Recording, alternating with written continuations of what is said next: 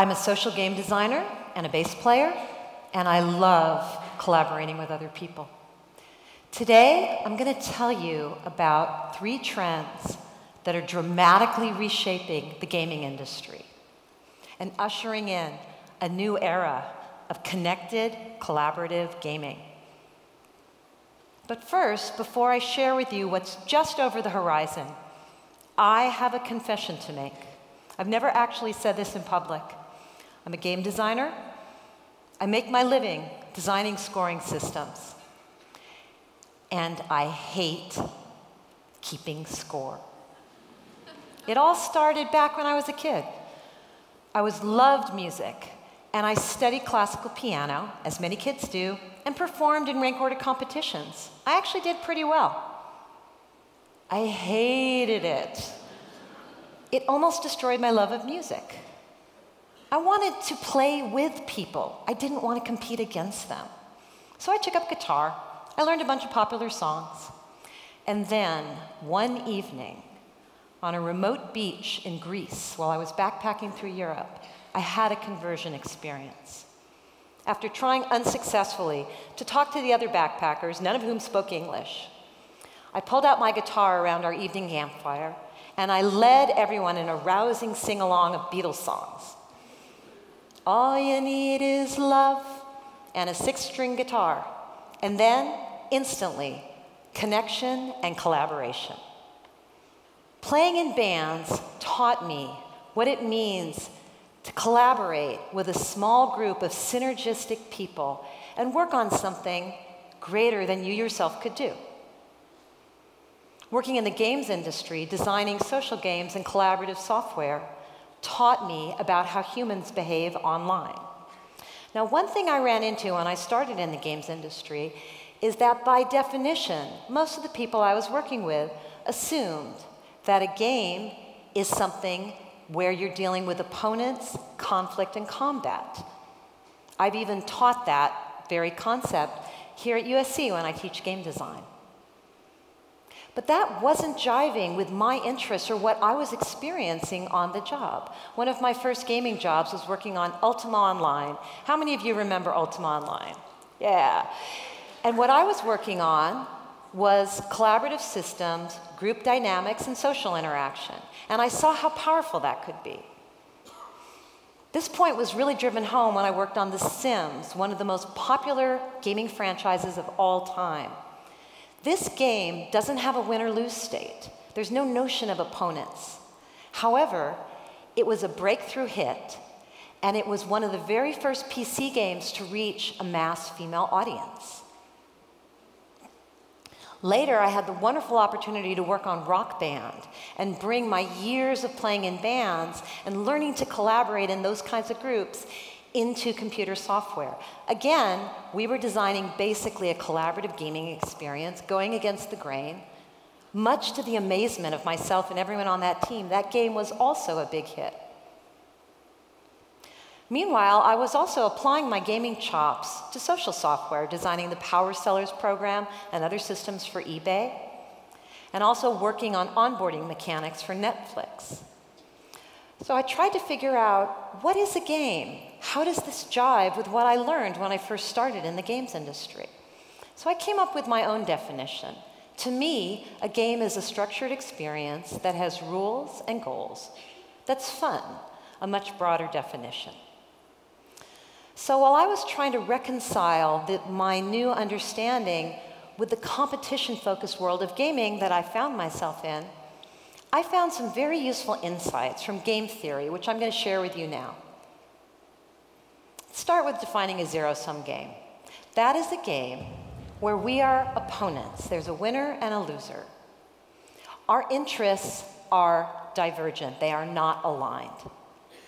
So, boxing,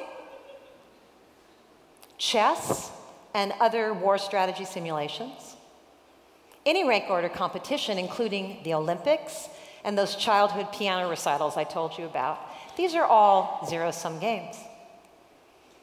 Now, a non zero sum game is a game where we are partners, not opponents. We win together and we lose together. Our interests are aligned. So, double Dutch, Pictionary, a charity walk. All of these are examples of non zero sum collaborative gaming. So, a good shorthand way to remember this is to ask yourself in any structured situation that could be a game when I'm looking at the other people here, are they my partners or are they my opponents? That's the essential difference. And that helped me understand these different kinds of games I was experiencing. So now we're ready to talk about these three disruptive trends and understand the implications. The first is the rise of ubiquitous connected devices. People used to play games on consoles and on dedicated gaming devices. But now, with the rise of net connected computers, smartphones, and tablets, that's no longer true. Here's a chart showing the overall gaming market revenues. As you can see, the overall market is growing and is continuing to grow. But look at that bottom dark blue area. That's console gaming. Since 2008, it's been flat, and in some years, it even declined. All the growth in the market is coming from mobile, social, and online PC gaming. If you just look at mobile gaming, you can see a very dramatic shift between 2009 and 2011. 2009, Nintendo DS dominated the market for mobile gaming. Two short years later, iOS and Android phones are what's dominant, and that trend is accelerating. Will Wright, who created The Sims, calls this the Cambrian explosion, which means that there are a lot of different kinds of games, new forms, new life forms, if you were, that are enabled by this trend. And again, that's accelerating and continuing. The second trend we're seeing that's disrupting the gaming industry is that gaming is now a mainstream, all ages activity, no longer a place just for 14 year old boys. A recent study by M2 Research found that 93% of kids report that they play games online. And it's not just boys who are playing. Games like Just Dance, which has been a smash hit at the top of the charts through, all, through many incarnations, are showing us that girls, if you give them games that are enjoyable, girls really enjoy playing games too. Older people are getting online as well. Did you know that the fastest growing demographic on Facebook is people over 55, and that women are the ones who are, who are signing up the most. They're ready and willing to play games. They just have to get some games they enjoy. Games like Brain Age on the Nintendo DS, originally released in 2007, now on every platform imaginable, showed older people that games weren't just a trivial pursuit, they can actually help you keep your brain sharp. The third trend is what I call mutual entertainment, which is people entertaining each other with their own content. You can understand this if you look at the number of hours spent online. Now, gaming is a big source of hours spent online. People love to game. But the hours gaming are dwarfed by the hours spent social networking and blogging, logging onto sites like Facebook and YouTube. An interesting part of this trend is Instagram. A two year old company recently purchased by Facebook for a billion dollars. Very simple app. What you can do with Instagram is snap a photo of your everyday life, put a filter on it to make it pretty, and then share it with anyone who cares to follow you. Very simple, very addictive. Instagram isn't a game, but Instagram has the game like addictive quality that Facebook and Twitter have. You never know what's going to show up next in your stream, so you keep checking. And the likes and the comments that people leave are both compelling and unpredictable.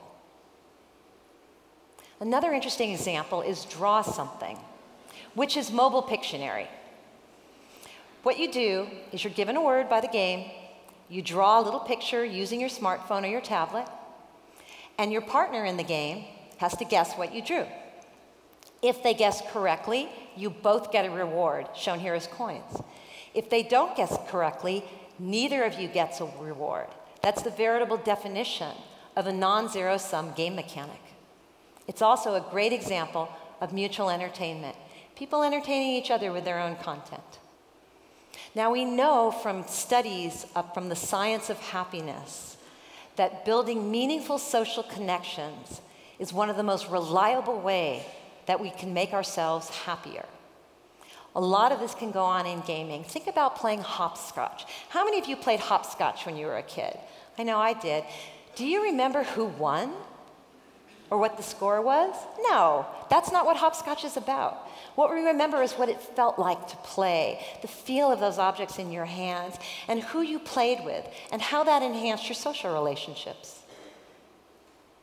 We also know from studying the science of happiness that social comparison is one of the most reliable ways to make yourself unhappier, especially if you're comparing yourself to someone who's got something bigger than yours. So think about that the next time that somebody says, hey, let's slap a leaderboard on that website. That'll make it more like a game, it'll make it fun. If you're ever in that situation, ask yourself, what emotions are you trying to go for here? What kind of game do you want to create? Are you going for zero sum emotions, which are dominance, envy, that kind of feeling? If so, then sure, leaderboard will do great. But if you're trying to go for non zero sum emotions, reciprocity, mutual support, gladness in somebody else's doing well, then that's not going to get you there. Recently, my friend, the Reverend Sandy Richards, here today, taught me a new word, Ubuntu. It's an African word that means I am because we are. An anthropologist went to Africa and he showed a bunch of kids a basket of fruit, put it a few yards away. He said, Go get it. First one wins. They joined hands, they ran to the basket, shared it together. He said, Why didn't one of you go get it for yourself? They looked up at him puzzled and they said, Ubuntu. Collaboration and collaborative gaming is not just a trend that's happening in the industry, it's a key 21st century skill. Games can profoundly influence who we are and how we think about the world. I want my kids to grow up in a world where their games will help teach them to look at people as partners, not just as opponents. The good news, it's great news actually, is that collaborative gaming is on the rise. If you want to ride this wave with me, then stop focusing your games and your gamified systems on keeping score, gaining status, and pummeling your opponents. Instead, try thinking about how you can enable meaningful interactions and how you can in incorporate non zero sum game mechanics and see where that takes you. The time is now, and you are just the people to do it. Thank you.